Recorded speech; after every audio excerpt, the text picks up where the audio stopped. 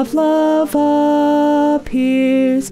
The Lord of life resigns his breath, and dying ransoms all from death.